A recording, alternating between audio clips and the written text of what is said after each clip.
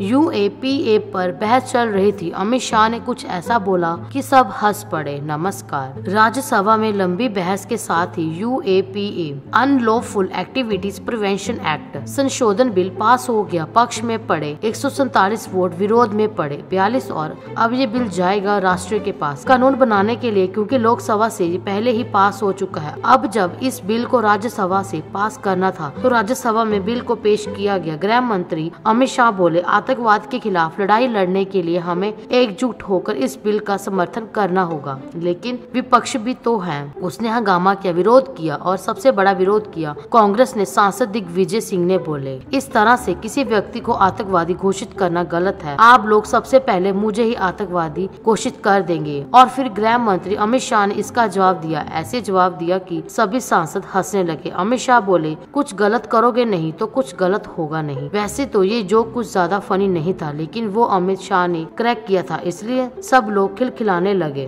खैर, इसके बाद भी वाद विवाद हुआ। दोनों पक्षों ने अपनी अपनी बात रखी, फिर वोटिंग के ज़रिए बिल पास हो गया। अब बिल पास हुआ तो खासियत भी जान लीजिए। Unlawful activities prevention act bill के तहत NIA किसी भी संगठन को आतंकी संगठन घोषित कर सकती है। किसी को भी आतंकवाद मान सकती है, और इसकी कुछ शर्तें हैं। अगर किसी भी आतंकी हमले में वो किसी की तरह से शामिल पाया गया, अगर वो किसी ऐसे संगठन का हिस्सा है जो आगे आतंकवाद फैलाने की तैयार कर रहा हो। अगर वो किसी ऐसे संगठन का हिस्सा है जो आतंकवाद को बढ़ावा देता है। इसके अलावा बिल ने NIA और को भी ताकत दी है। एन को किसी राज्य में आतंकी संगठनों की संपत्ति सीज करने से पहले राज्य के डीजीपी की परमिशन लेनी पड़ती है। अब सिर्फ़ NIA के डीजी परमिशन से ही काम हो जाएगा। अब तक आतंकी मामलों की जाँच डिप्टी सुप्रिटेंडेंट ऑफ़ पुलिस या assistant commission of police rank के अधिकारी हो सकते हैं। बिल के कानून बन जाने के बाद ऐसे मामलों की जाँच एन के